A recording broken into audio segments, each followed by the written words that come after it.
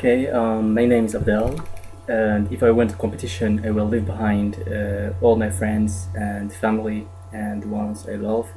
So I won't be able to see them from time to time, and um, I will take with me um, my passport, my video camera, and a book uh, or uh, a map of countries I will visit.